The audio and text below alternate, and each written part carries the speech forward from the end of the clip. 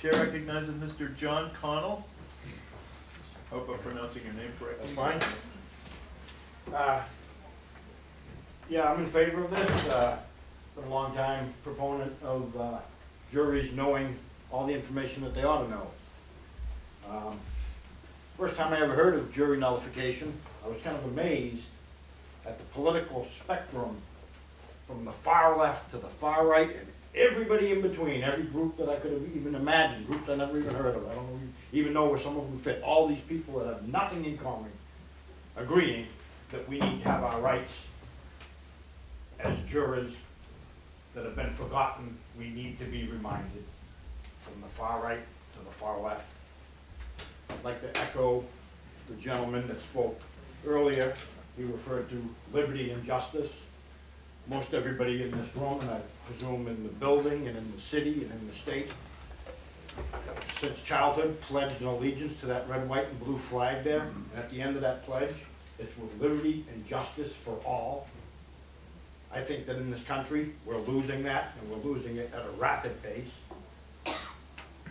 Most people don't consider it, they, they swell up in their heart when they hear this liberty and justice. Who's to protect this liberty and justice? Another gentleman mentioned the Constitution and the Republic. And that the Republic is above this corporate thing. I don't quite understand what all that is. But I do know this. If you look at the, let's say, for example, uh, the Constitution of the United States, it starts off saying that we the people create this Constitution. So that we the people came first. We're above the Constitution. We created it. The Constitution then creates three branches of government. The executive, the legislative, and the judicial.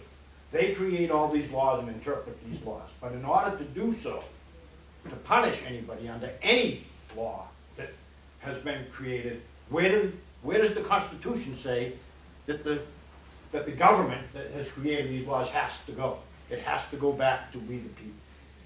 We the people are on top, and we the people should be the judge of the law. This judge that sat here earlier, he said that he believes a lot of the, a lot of these people, the proponents, are confused, or whatever his wording was. We, we don't understand, we're just the little people over here, right? We don't know what we're really in favor of. Well, I'm gonna tell you what I'm in favor of. I'm in favor of the jury judging the law.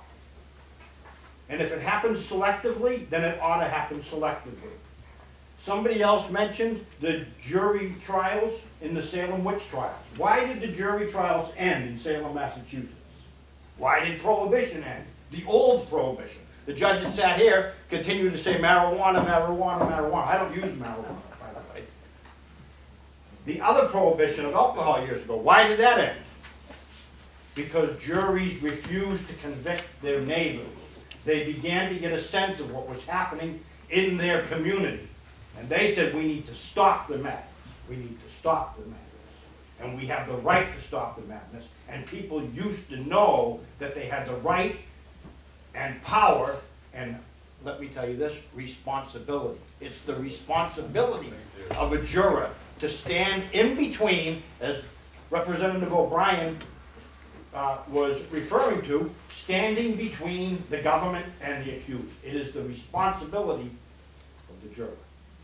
The judge liked to refer to uh, when in the South, uh, some white juries, all white juries, or whatever it was, refused to convict. Well, yeah, that's horrible. There's been a lot of times when things don't go exactly right. Um, he, he talked about when John Adams uh, had the case. Uh, William Penn is another case. So there, there are these cases in history uh, where sometimes things have gone right and some things have gone wrong. The conscience of the community is going to be there. Um, I don't know if I'm making my, my point on that very well. Uh, I'm not used to testifying, I've only done this uh, one other time. In fact, it was on, on another, on another bill that I thought was important. Take time off of my schedule, I don't like hanging around here. I, I like, I, I have a productive life to do. And, and I, and I came here one other time because I thought something was so important that I had to come here. And it was not related to jury rights and jury nullification. And somebody was concerned that people could be wrongfully convicted on, or, or improperly convicted, or, or justice wouldn't be served if there were convictions, convictions under the law that they were discussing. And I said, I have to speak up. I was here to- mostly to watch that. Well, And let's, I let's said, stay "Let me on tell this bill, okay? Okay, let, um, but, but, but it was directly, I said, I need to speak to this committee because jury nullification gets at that. You will not have wrong convictions. Uh, If, if all we needed to talk about was the evidence before the jury, then why don't we just have a computer? Why don't we just put all the evidence into a computer? And then there won't be any mistakes. All you folks that wanna pass all the laws can put all the information into the computer. And the judge can sit up there, cause he's pretty smart, he's been to a lot of school, he can help to decide to make sure, you know, which are the facts that go in and which ones don't. Because he does that when he sits on his bench in front of the jury.